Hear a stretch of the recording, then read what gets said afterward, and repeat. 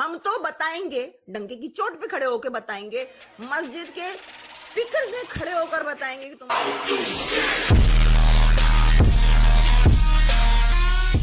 इस वीडियो को like, share और चैनल को सब्सक्राइब करना मत भूलिएगा। इस काम को आगे बढ़ाने और अवेयरनेस फैलाने के लिए मुझे आप लोगों की सपोर्ट की ज़रूरत है। आप पेट्रियन ओनली फैंस या सिंपली पेपैल के थ्रू सपोर्ट कर सकते हैं। लिंक आपको डिस्क्रिप्शन में मिल जाएँगे। आपकी सपोर्ट मेरे लिए बहुत मायने रखती है। मुझे लग रहा है कि हमको शेडो बैन बहुत बुरे तरीके से किया जा रहा है। हेलो वालेकुम जी वालेकुम जी मैं ठीक हूँ। आप कहाँ से? मैं सऊदी अरब से। सारे सऊदी यार देखो सऊदीया कितना लिबरल हो गया है ना? नहीं मेरी आपसे हफ़्ता तकरीबन पहले बात हुई थी। अच्छा हाँ मुझे याद है। नहीं मगर मैं ये कह रही हूँ अभी आपसे पहले भी वो सऊदी से आए थे। सऊदी से बहुत सारे लोग मुझे देखते हैं। हाँ बहुत सारे आपके फॉलोअर्स हैं यहाँ पे सऊदी में। अभी भाई साहब वो आटे बोरिया लेके बैठे हुए थे पता नहीं क्या आप उनसे बातें कर रही थी। मुझे भी आटे की बोरिया भिजवा दो भाई बड़ी महँगी हो गई यहाँ पे गिफ्ट नहीं मारते तो वही भिजवा दो बोरिया ही भिजवा दो। आटा आटा जिधर किधर महँगा हो गया है आटा पूरी वर्ल्ड में से आपके वर्कआउट का क्या हुआ? थर्टी डेज़ चैलेंज था आपका दो दिन से आप हाँ। वर्कआउट कर ही नहीं रहे। ये मर्दों की गलती है। ना मर्द आ जाते हैं ना आपकी लाइफ में बीच में फिर वो आपको डिस्ट्रैक्ट कर देते हैं फिर वो जो है टाइम आपका जाया करवाते हैं। तो मैं नहीं मैं बिज़ी हुई थी वीकेंड मेरा पूरा बिज़ी निकला। बहुत पार्टीज़ हो गई थी कुछ ज़्यादा लोग भी आए हुए थे मेरी बहन आई हुई थी घर पे तो उसमें बिज़ी हुई हुई थी। फिर बेटी को लेके जाना होता है वीकेंड पे। तो मैंने आज करना था मगर आज भी मैं बाहर निकली हुई हूँ। वही है ना रुक घर के काम भी होते हैं दूसरे काम होते हैं तो बंदा डिस्ट्रैक्ट हो जाता है। मगर मैं अपनी स्ट्रेचिंग वगैरह वैसे करती हूँ घर में जो कर रही थी मैं। हाँ तो अब दोबारा नहीं डाइटिंग डाइटिंग डाइटिंग अपनी आप सही रखे। अगर वर्कआउट नहीं भी हो रहा तो कोई मुश्किल नहीं लेकिन डाइटिंग को लूज नहीं करना। हाँ नहीं नहीं डाइट मेरी मैंने टाइट रखी हुई अपनी आजकल। मैं उस दिन मैं जाकर अपना स्केल मैंने करा जाके मैं मेजर करूँगी भाई कितना वेट कम किया है मैंने। तो इस हम्म। साल मेरा कोई अच्छे खासे मैंने क्योंकि पहले वेट नहीं किया था जब मैंने स्टार्ट किया ना तो मैं कोई over hundred and sixty pound से ऊपर की थी। अब मेरा वन फिफ्टी टू हो गया पाउंड में। तो ऑलमोस्ट लाइक दस दस पाउंड तो मैंने कम किया। बहुत वो भी बहुत बहुत मेहनत बहुत मेहनत की नहीं है ये थोड़ी सी मेहनत करके। तो अगर मैं बहुत मेहनत करती तो मेरे बीस पाउंड हो जाते। तो अब मैं बहुत मेहनत करने की कोशिश कर रही हूँ ताकि आई गिव इट हार्ट तो आई विल लूज वेट आप थोड़े आठ दस पाउंड भी अगर वेट लूज हो जाता है तो ये भी बहुत बड़ी अचीवमेंट है। आजकल तो एक पाउंड वेट करना भी बहुत बड़ी आफत बन चुका है। दस पाउंड तो फिर भी बहुत बड़े हैं माशाल्लाह। ये एटलीस्ट वेट गेन तो नहीं किया ना मैं यही सोच रही थी। मैंने कहा एटलीस्ट वेट गेन तो नहीं किया फिर से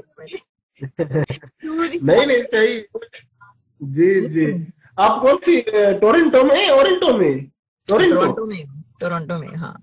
हाँ, तो हम्म, क्या आप है वहाँ की या ग्रीन कार्ड है? क्या है? नहीं नहीं मैं तो यहाँ पंद्रह पच्चीस साल से हूँ तो मेरी नेशनैलिटी है यहाँ की अब तो। अच्छा। अब तो कनेडियन नेशनैलिटी हाँ। तो आप कब से अभी आप- सऊदी अरब में कब से हैं आप? मुझे सऊदी अरब में पाँच साल हो गए।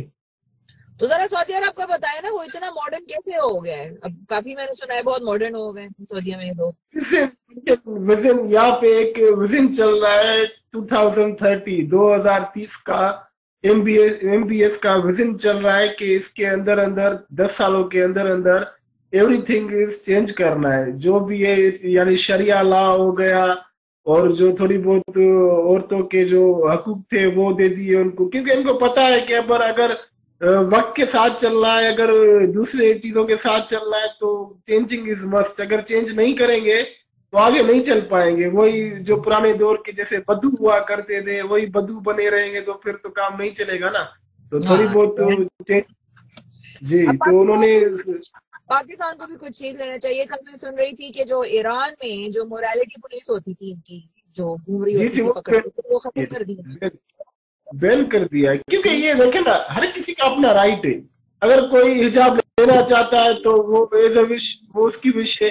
अगर कोई नहीं लेना चाहता तो वो किसी की विश है। फ़र्क क्या होता है? फ़र्क आता है देखने वालों की नज़रों में वो हम्म। आप उसको किस देख रहे हो? आप लोगों को आ, लोगों को आप फोर्स नहीं कर सकते हो। आजकल की दुनिया में क्योंकि दूसरों को दिख रहा है दूसरे मुल्कों में लोग कैसी ज़िंदगी गुजार रहे हैं तो वो सोचते हैं भाई हम पे क्यों ये चीज़ थोपी जा रही है?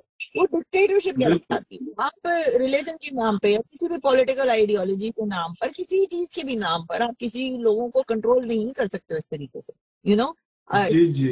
जब वो उनके राइट पे आ जाती है कि ह्यूमन राइट जिसे कहते हैं ना होता है। तो आई एम वेरी हैप्पी कि सऊदी अरब एटलीस्ट ही लीड कर रहा है। तो आई होप कि दूसरे फॉलो करें उसको। ये बहुत लगाने तो, का जिस दिन बिज़नेस मंद होगा ना ये मौलाना जितने बैठे हैं पैसे कमा रहे हैं। लाखों में कमा रहे हैं बैठ के यूट्यूब पे।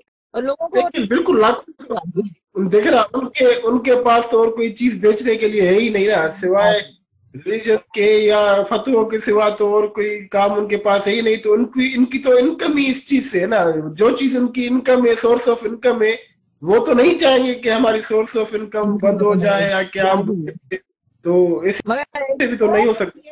एमबीएस ने वहाँ पर ये इनको आना मना है ना प्रीचर्स जो आते थे वहाँ पर दावा फैलाने के लिए। अभी जो है ना तक, तकरीबन ऐसे समझे आज से पाँच साल पहले सऊदी अरब कुछ और था। मैं अपनी बात कर रहा हूँ, मुझे पाँच साल हो गए जो मैं फील कर रहा हूँ। मैं वो आपको बता रहा हूँ कि आज से पाँच साल पहले बहुत, यानी सख्ती हुआ करती थी, शरीयत ला, जब भी अजान होता था तो सारी दुकानें मार्केट्स बंद हो जाती थी और बाहर जो है वो मौलवी पूरे गाड़ियों में घूमते थे, जिसको बाहर देखते थे तो उसको नमाज़ के लिए फोर्स करते थे कि यार आप नमाज़ पे चलो। अगर नमाज़ पे आप नहीं जाओगे तो आपको फाइन दे देंगे फिफ्टीन रियाल का हंड्रेड रियाल का फाइन दे देते। अब ये है कि अगर आप जाना चाहो, न जाना चाहो, आपकी मर्ज़ी है। अगर आप अपनी शॉप बंद करना चाहते हो तो भी आपकी मर्ज़ी। अगर आप ओपन रखना चाहते हो तो वो भी आपकी मर्ज़ी। कोई भी मौलवी आके आपको ये नहीं, फाइन नहीं कर सकता, ना ही आपको बोल सकता है कि आप चलो या नहीं चलो। अब आपकी अपनी विश के ऊपर है। जाना चाहो तो आपकी विषय ना जाना ना जाना चाहो तो वो भी आपकी विषय नहीं ये तो बहुत अच्छी बात है। I think I think it's going to do very well और मेरे ख्याल से मैं वही कहती हूँ कि अब आगे फ्यूचर में जाके अभी तक वेस्ट बड़ा ऊपर चढ़ चढ़ रहा था ना मगर अब जब आप ईस्ट में देख रहे हो India is going to the top China is going to the top Saudi और मिडिल ईस्टर्न कंट्रीज़ में भी they are going to the top पैसा इनके पास है। तो फ्यूचर में ये कंट्रीज़ ऊपर होंगी इकोनॉमिकली भी और इनके पास ज़्यादा पावर होगी वेस्ट के वेस्ट तो एक चीज़ एक चीज़ मैंने देखी है कि बहुत सारे लोग क्रिटिसाइज करते हैं, यहाँ पे बोलते हैं कि यार ये इतना पाक कंट्री है और यहाँ पे ये चीज़ें नहीं होना चाहिए, कुछ और पैसे के लिए जो है ना, मैंने अपने, ज़्यादातर अपने पाकिस्तानी लोग ही देखे जो ये क्रिटिसाइज करते हैं। कभी उन्होंने ये नहीं देखा कि यार हमारे अपने पाकिस्तान में क्या कुछ नहीं होता, सब कुछ होता है तो हमें तो कोई बुरा भला नहीं बोलता। और यहाँ अगर कोई चेंज होना चाह रहा है अपनी फ्यूचर के लिए तो यहाँ सब आके मौलाना साहब बन के सबको झाड़ना शुरू हो जाते हैं यार ये अच्छा नहीं है वो अच्छा नहीं है सऊदी हमको पाकिस्तान में मुनाफिकत चलती है आप पीठ पीछे कुछ भी करो मगर आपने बाहर आकर आपने जो है रिलीजन के नाम पर या पॉलिटिकल पार्टी के नाम पर लोगों को तुरंत बेचना है बस। बीच बीच आप सब कर सब करते हैं ये लोग। इनके देखो कितने स्कैंडल्स आते हैं क्या हरकतें नहीं होती क्या शराब नहीं मिलती पाकिस्तान क्या प्रोस्टिट्यूशन नहीं होती बच्चाबाजी नहीं होती ऐसा कौन सा काम है जो नहीं होता? ड्रग्स वहाँ मिलती हैं। यू नो एवरीथिंग हैपन और ये लोग चाहते नहीं है कि लोगों को शूर आए ताकि अगर लोगों को शूर आ जाएगा ना तो फिर वो इन लोगों को वोट देना बंद कर देंगे। तो वो चाहते ही नहीं है बिल्कुल बिल्कुल। बेचारे गरीबों को लगाया हुआ है। चले thank you so much ji बात कंप्लीट कर लो आप। वो वो वो वहीं पे अगर करें तो बनता है कि भाई अपना मुल्क के सब कुछ अपना है वहीं बनता है। लेकिन मैंने अपनी पाकिस्तानियों में ये चीज़ें देखी है किसी भी कंट्री में हो जिस कंट्री में रहेंगे उसी की क्रिटिसाइज शुरू कर देंगे उसी की चीज़ें बुराई करना शुरू कर देंगे। भाई तो छोड़ के आप यहाँ आके इनके पीछे वो उनकी गवर्नमेंट है जो चाहे वो कर सकती है आप को रोते हो? नहीं भाई ये अच्छा नहीं आप क्या आसमान से उतर के आए हो। हाँ, जो दूसरों को आप बोल रहे हो ना। कनाडा आ जाते हैं यूएस आ जाते हैं फिर उनको क्या वहाँ पे पाकिस्तान बनाना होता है। भाई मैं मैं यही सोचता हूँ कि, कि दूसरी कंट्रीज़ के लोग होते हैं ना अगर आउट ऑफ़ कंट्री जाते हैं या अबोर्ड जाते हैं तो वो सोचते हैं कि हम थोड़ा बहुत अपने आप को चेंज कर ले फिजिकली भी चेंज करें फाइनेंशियली भी चेंज चेंज करें और कुछ अपने माइंड को भी चेंज करें ताकि दुनिया के साथ चलते लेकिन वायद हम पाकिस्तानी कौम है दुनिया की किसी भी कोने में जाए ना लेकिन मेरे हमारी मेंटेलिटी वही रहती है। कुछ भी हो जाए। पाकिस्तानियों को सबसे ज़्यादा कीड़ा इस्लाम का हमारे पाकिस्तानियों को है। मैंने ना ईरानियों को देखा ना अफगानियों को देखा यहाँ पर इतना ना सीरियंस को देखा ना टर्को टर्कीज को देखा। दुनिया की किसी भी उसको मैंने नहीं देखा झंडा उठाया इस्लाम का। ये सबसे पहले बाहर आते हैं हमारे। पाकिस्तानियों को पता नहीं क्या कीड़ा है। सऊदी अरब कोई भी कहीं का इतना नहीं दिखेगा कोई आपको मगर हर जगह जब चक्कर होगा वहाँ पाकिस्तानी ज़रूर निकलते हैं। चले आगे। थैंक यू सो मच आपसे नेक्स्ट टाइम ज़रूर बात होगी. Thank you so much it's very nice to talk to you take care चले. बाय बाय तब्दीली आई रे तब्दीली आई रे. उफ, मेरे व्यूअर्स कहाँ चले गए? थोड़ी देर में यहाँ सिर्फ़ दस लोगों ने बैठा हुआ होगा.